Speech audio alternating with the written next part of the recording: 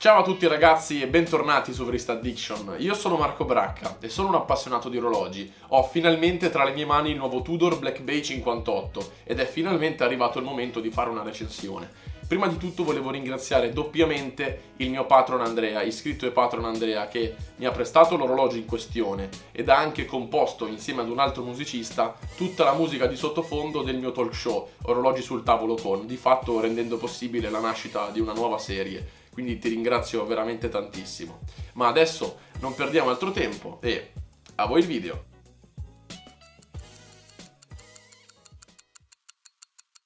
Il Black Bay 58 è forse l'orologio sportivo che più fa parlare di sé nell'intero catalogo Tudor, ma perché? La linea Black Bay nasce nel 2012 come reinterpretazione moderna dei classici Rolex Tudor anni 50. Corona senza spallette, grafica oro e fascino vintage, un mix perfetto che ha riscosso successo nel pubblico fin da subito. Per quanto riguarda le dimensioni però il discorso è diverso. 41 mm di diametro erano e sono per molti un po' troppo, soprattutto se abbinate ad uno stile con ispirazione vintage. Nel 2018, a Baselworld, Tudor presenta lui, il Black Bay 58, molto simile ai predecessori, ma finalmente con dimensioni più contenute, 39 mm di diametro. Questo nuovo Black Bay rappresenta secondo me qualcosa di preziosissimo, proprio perché un diver così compatto e versatile mancava dal catalogo Rolex Tudor da troppo tempo, ed il fatto che l'azienda sia stata capace di ascoltare le critiche del pubblico è molto importante. In questi ultimi anni, anche grazie alle community di appassionati, non prendiamoci in giro, possiamo osservare nell'industria orologiera un ritorno a misure più contenute, e questo per quanto mi riguarda è solamente un bene. E finita questa piccola parentesi, passiamo a lui.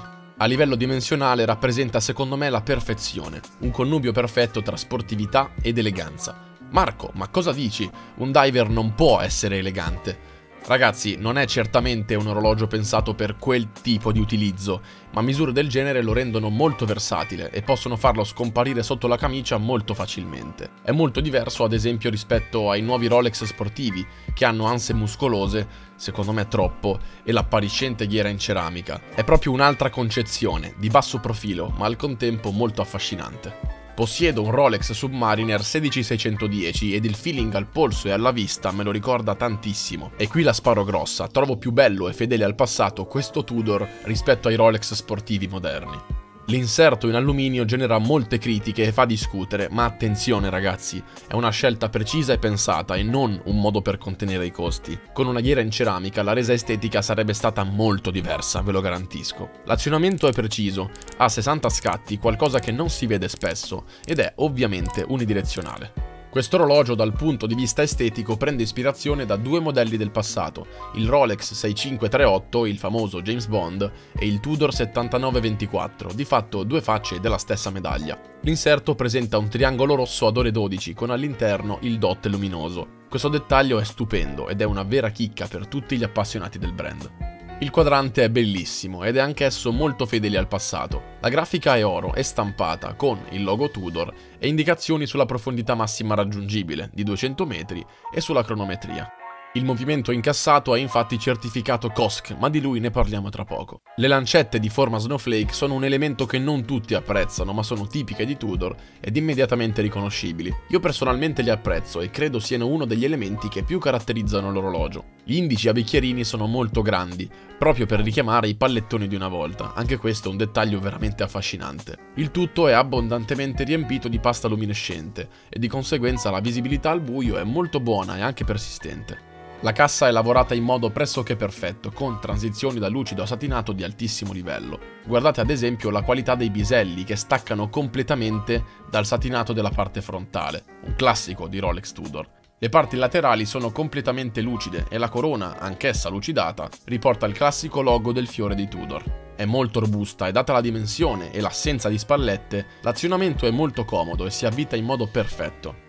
Il vetro, in zaffiro bombato, sovrasta il tutto come una cupola di protezione, un dettaglio molto godibile che ovviamente rimanda ai morbidi plexiglass bombati di una volta. Girando l'orologio possiamo osservarne il fondello, che è molto semplice. Presenta una gradevole satinatura verticale e riporta fieramente incisioni che sottolineano la presenza di un calibro di manifattura. Il cuore meccanico che anima questo orologio è il nuovo calibro Tudor MT5402.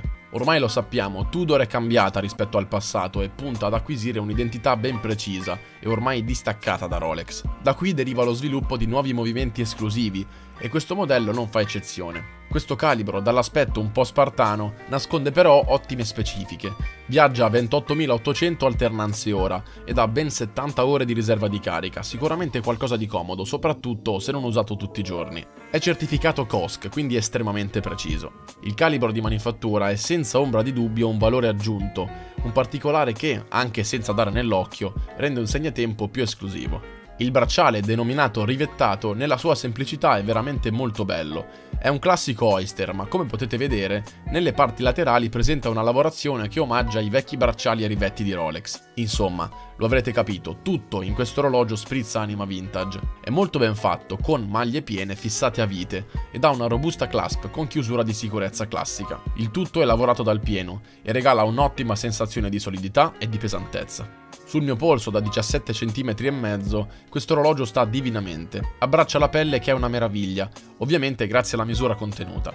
Un oggetto del genere potete dimenticarvelo al polso, ma attenzione, non sto dicendo che è leggero o piccolo, ma semplicemente che è molto comodo e di conseguenza super versatile, perfetto persino come everyday watch.